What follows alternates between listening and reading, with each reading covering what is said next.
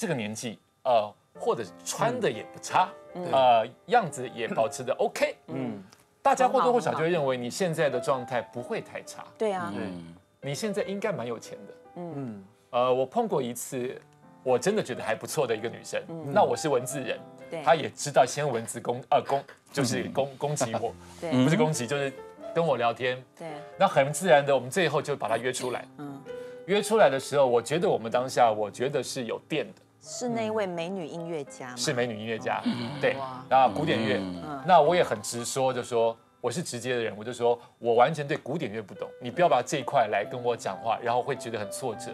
我懂其他，你可以问我啊什么的。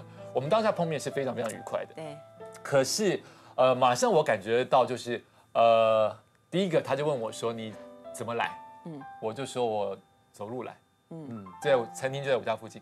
你没有开车啊？嗯，因为他开车来，他刚才停了很久。嗯，我说我没有开车，这是第一个问题。我说我平常就是捷运、小黄跟走路，而且我常常走路，我是跑马拉松的人，我常常走路。对你相信我走路什么状况？一个，他开始有一点没兴趣了，一点点，一点点。好，第二个他开始问我两个朋友。对，我有两个朋友在 FB 当中，因为我当时主持的是居家的节目，嗯，所以我常常讲到家里的装潢啊，怎么怎么样啊，他常常问我啊，所以那个两个是炫富的朋友，嗯，所以我会回。这个朋友，这个女生就马上问我说：“你跟这两个人熟吗？”因为我没有加她 FB，所以她其实是这两个人常常联络的人。对，她以为我们是同一卦，所以她再次就问我说：“你跟他们不是同一卦？”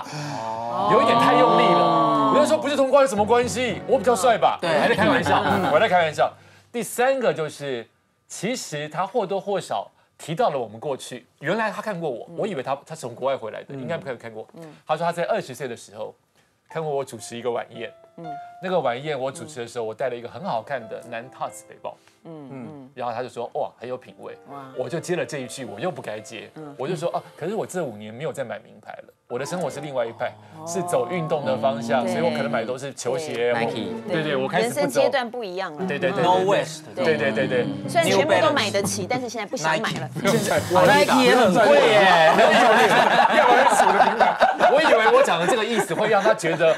我很有运动，我保持的很好，我想的都是这个方向。嗯，最后要离开了，因为我觉得这一顿饭，咖啡饭不会多少钱，我一定会付。但是你就算是女生付，我没有觉得羞羞羞耻感。对，这么小都有理由，你再接下一次我们再碰面。对我来说这没有什么。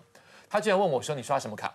我直觉就说什么银行的卡，因为我跟这个银行关系很好，我常常组织他们的活动。他听不懂。嗯，哦。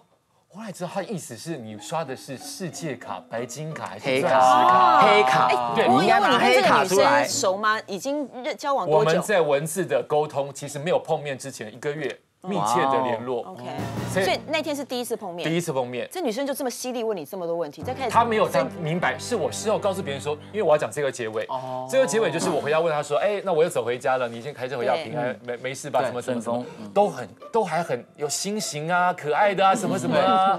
第二天这个人就再也不读我的讯息了，哇，连已读都不见了，哇哦，我觉得他封锁我了。哦，我就把这个故事，这个很无聊的烂故事，告诉我的朋友。我的朋友说：“你怎么会听不出来？嗯，这个女生从头到尾就是介意你没有钱。”她在探你的底。对，可是你怎么会知道我可能旅途中有十栋房子到现在还没有讲给你听啊？我可能是传票啊！你会，而且你又不是林志玲，你把我封锁干什么？你搞错了，对不对？嗯。